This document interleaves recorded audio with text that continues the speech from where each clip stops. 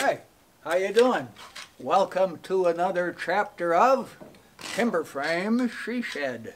Yes, and what we have for the main beams in here, take a look. Take a look at these. They're 29, 29 feet long, cut out of one full round log, cut them out with a chainsaw, level guided chainsaw, cut them out. It was quite a deal. Yeah, the price was right. They were 50 bucks. It was 50 bucks for the whole tree because it was so big. Nobody wanted to haul it away. So I cut it right on the site. But we have a dilemma. They're 29 feet long. And the way that this mill was made, this sawmill, which 35 years ago when I made this mill, it sat, it sat in the middle of a building that had an overhead crane. I could just pick stuff up, 30 feet long, 35 feet long, set it on the deck and cut it. But then it got, we sold that place, moved it, moved to another spot, and then it was sitting out in a field and could load it from the front side with a tractor, you know, for doing log home stuff because I had, that's why we built it to cut it that long. Anyhow, once we moved here, we had moved into, when we, by the time we built this building, we had moved into working with cedar. And it's generally shorter stuff, 12, 14, 16 feet, or on some of the stuff we could maneuver with the swing arm placed, this thing right here, this thing that swings to the side and we can pick it up in the middle, because in the middle of this mill, or in the middle of this building, we have an overhead crane, overhead. The thing is good for 6,000 pounds, three tons. I've never had that much on it. but at any rate, it is good for three tons, 6,000 pounds. So we can pick stuff up and move it and then pick it up with the swing arm and get it in and set it on the saw deck. And it was kind of awkward sometimes, but it still worked. And it had a limit of 27 feet. That's all I could get through the doors, maneuvering it around. And cedar weighs just a fraction what either Norway pine or white pine or help us all, what oak weighs. So the dilemma is these 29 foot long beams, they're really heavy. And I don't dare pick them up, they won't work. I can't get them in because they're too long. So if you see here, look at this track.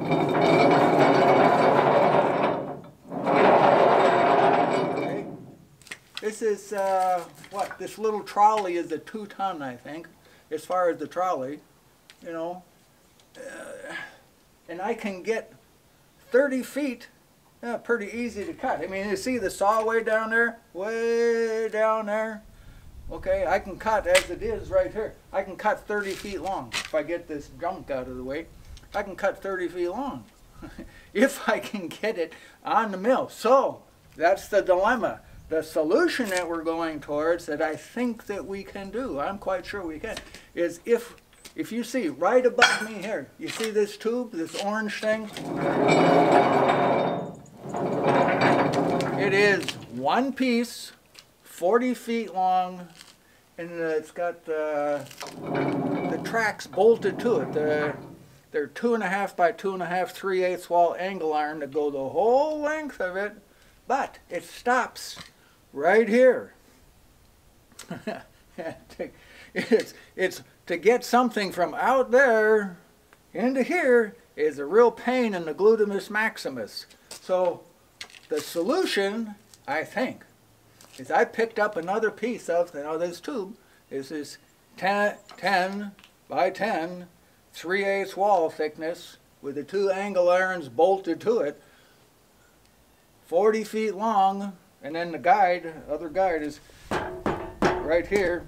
The sawmill tracks hangs on that beam. It tracks on this I-beam down here. So it's extremely accurate and 40 feet long.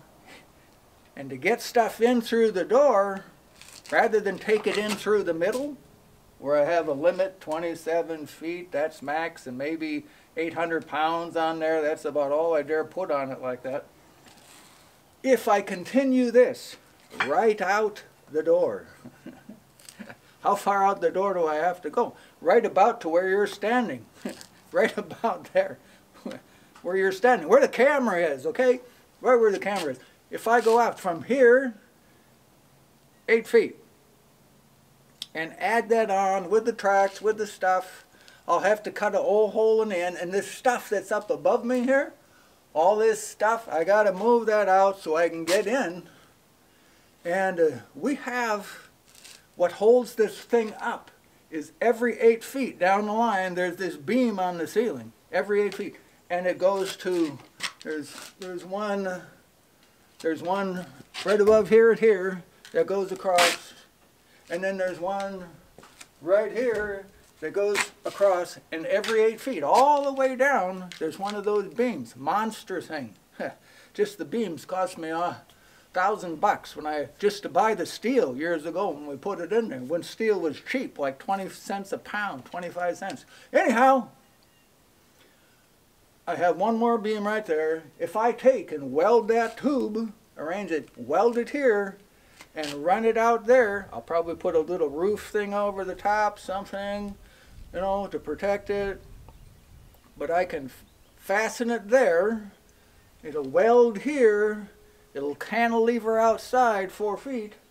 And this, I will get one more of these fitted to the track so I can pick something up, you know. It'll have a loop that goes around. I can get it so and bring it up there to the thing and hold it up there with the skid steer and put it on there and then hook it and then bring the skid steer around and push it right down.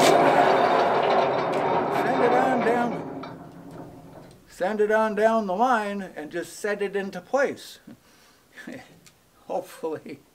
It's not something you do a dozen times every day. It's something you do, you know, three or four times once or twice a year. Okay?